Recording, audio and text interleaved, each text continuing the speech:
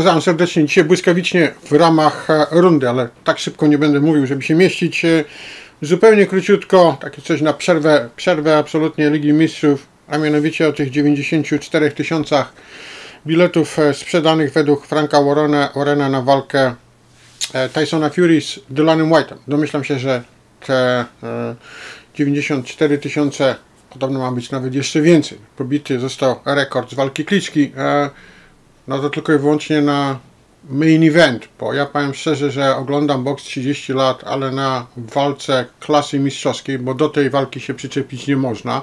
White kontra, kontra Tyson Fury to taki kaszany, mega kasza, kaszany, jak napisałem na Twitterze, level hard kaszany. Jaką jest undercard, to ja naprawdę nie widziałem. Bez wymienienia nazwisk, bo to nie ma znaczenia. Żadna z walk na undercardzie nie ma absolutnie żadnego znaczenia sportowego. Zero. Ja czegoś takiego nie pamiętam na żadnej, na żadnej gali.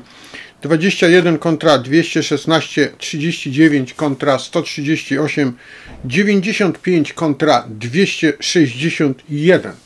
Bez nazwisk, no tak jak mówię, to nie ma żadnego znaczenia sportowego. To są rankingi najważniejszych walk oprócz main events. To są ludzie, którzy są na plakacie Szanse, że kiedykolwiek myślałem, że zobaczę na plakacie obok walki White kontra Tyson Fury Daniela Bociańskiego są zero, a właściwie były zero, bo już nie są, bo go zobaczyłem. Przypominam, Daniel Bociański to jest, e, jak ja mówiąc, fajnie wygląda na boksreku. Wrzucam w tej chwili, jak wygląda na boksreku Daniel Bociański. Nie naśmiewając się, no ale rzeczywistość jest jaka jest będzie walczył z e, młodym Fury, który powiedział, że młody Fury powiedział, że na pewno wygrałby Bociański z, e, z youtuberem. Co, co to znaczy? Po pierwsze, nie wiem, czy by wygrał. Nie jestem do końca przekonany. Po drugie, co to jest za punktacja ważności? E, walczyć będzie z e, młodym Fury. Natomiast do tej punktacji, o której mówiłem, na przykład 95 kontra 261, to 95 to jest Dawid Adelaje, który przegrał inaczej, w rankingu wygrał. Natomiast każdy z nas widział, że przegrał walkę z Kamilem Sokołowskim. To jest undercard walki na Wembley. Podobnej kaszany naprawdę jeszcze nigdy nie widziałem. Powtórzę jeszcze raz, bo to trzeba innej świadomości umysłu, żeby, żeby to zrozumieć. 21 kontra 216, 39 kontra 138, 95 kontra 261 i 348 młody Fury kontra, kontra Bociański, który nie jest sklasyfikowany w bokseku. Dla porównania, żeby nie było, od razu żeby nie było. Oczywiście, tak jak mówię, zdarzają się gale, gdzie są walki nieporównywalnie słabsze niż main event. Byłem na mnóstwo tego typu galach. Natomiast ta przebija sam siebie. Dla porównania, Canelo kontra Bivo. Znaczenie sportowe walki main eventu większe, jeszcze większe niż walki o tytuł mistrza świata w wadze ciężkiej, ale o main evencie w tym momencie nie mówimy. Przypominam, undercard. Giasow kontra Gomez. Giasow to jest 12-0-9 KO w pierwszej dziesiątce dwóch rankingów na świecie. Gomez 22 2 20 KO. To jest waga półśrednia 57-70 dodane. Dodani, nie wiem, 2 czy 3 dni temu jako do tego, co już widzicie. Ta walka którą teraz wymieniłem, mianowicie Giasów kontra Gomez, to byłaby superstar walka na, na tej gali, o której mówiłem. Przebija wszystko, co tam jest, razy 50. Nie mówiąc już o dwóch pozostałych walkach, jakie tam są, a mianowicie Montana Love kontra Valenzuela, to jest real fight. To jest absolutnie real fight gości, którzy 12 kontra 40 w boxreku, który szczególnie Montana Love, to są, to są ludzie będący w przybliżeniu do walk o tytuł mistrza świata albo do walki z kontenderami.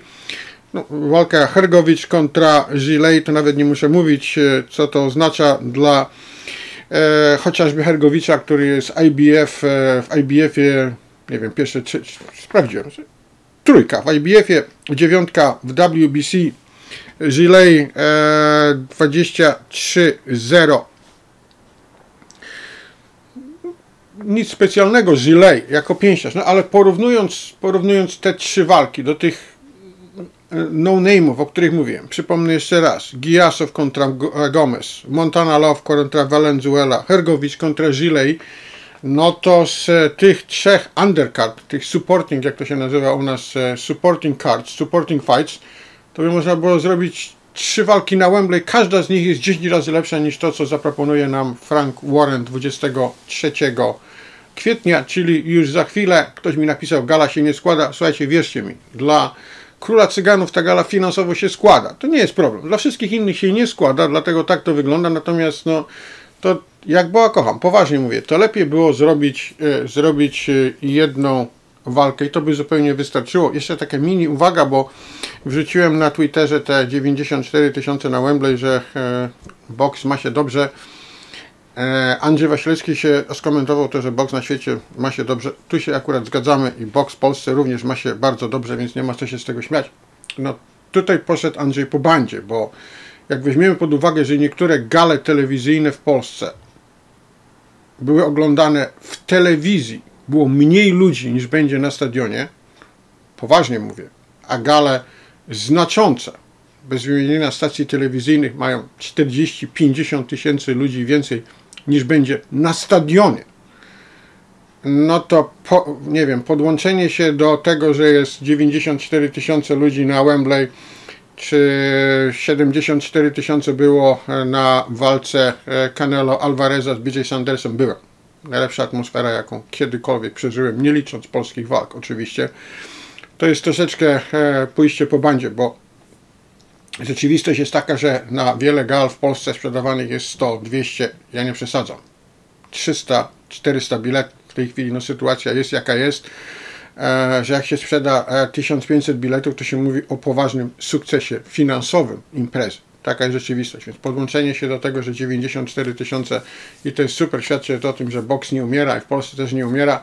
No, to jest pójście po bandzie i niewiele ma to wspólnego z rzeczywistością. Oddalenie się światowego boksu od polskiego boksu jest absolutnie olbrzymie. Znam różne statystyki od dłuższego czasu, różnych walk, jak to wszystko wygląda, więc e, chyba wiem o czym mówię. Pozdrawiam Was serdecznie. Nie wiem ile to było, może dwie rundy, może trzy, więcej na pewno nie. Na pewno na przerwę starczy. Pozdrawiam Was serdecznie. Do następnego.